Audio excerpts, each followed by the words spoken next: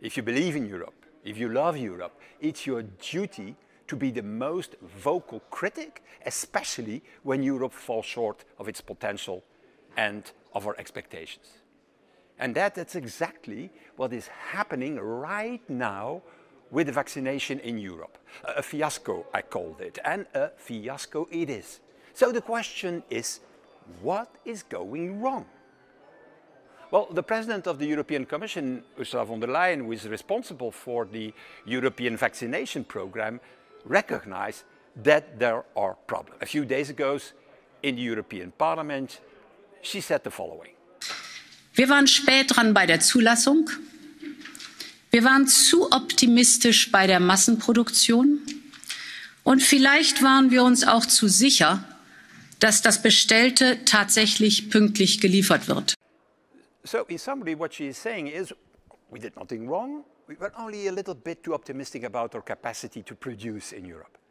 But that's not what the facts are telling us as we produce the vast majority of these vaccines.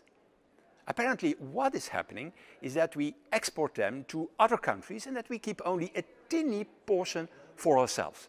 So the question remains, how did this happen?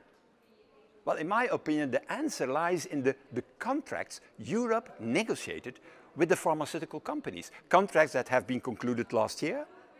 And I, I personally looked into three of these contracts. And while not all elements, especially on price and quantities have been made public, it becomes immediately crystal clear when you read these contracts where the origin of our vaccination problems come from. These contracts are extremely unbalanced.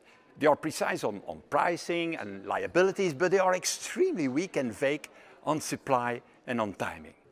And more precise, they, there appears four big problems in these contracts, four problems that are at the same time four um, escape routes to the contractual obligations of the pharmaceutical companies.